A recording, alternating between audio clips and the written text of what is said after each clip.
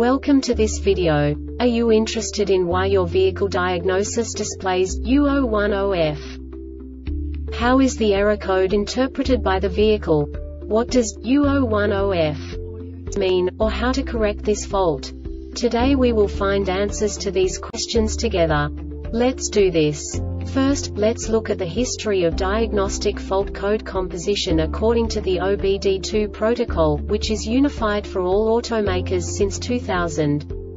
We divide the electric system of automobile into the four basic units. Powertrain, body, chassis, network. This distribution is defined in the first character code. If the second character is expressed as zero, it is a standardized error.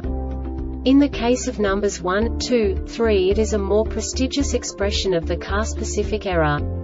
The third character specifies a subset of errors. The distribution shown is valid only for the standardized DTC code. Only the last two characters define the specific fault of the group.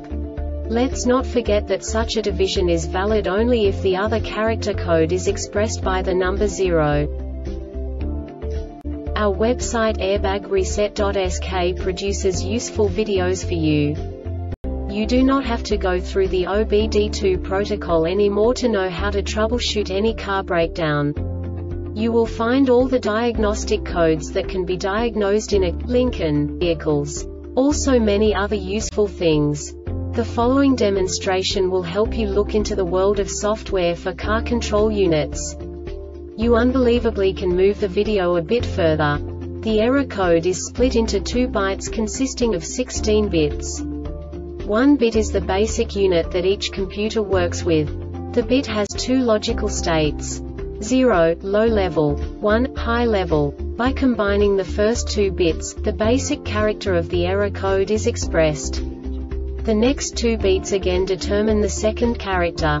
The last beat styles of the first byte define the third character of the code. The second byte is composed of a combination of 8 bits.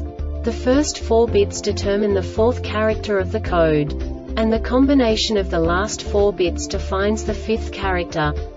A single byte conceals 256 possible combinations.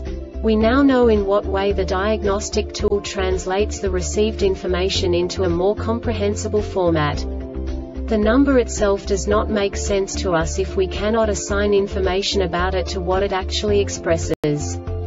So, what does the diagnostic trouble code U010F interpret specifically Lincoln car manufacturers? The basic definition is low tire pressure system sensors not learned. And now this is a short description of this DTC code. The ignition is on.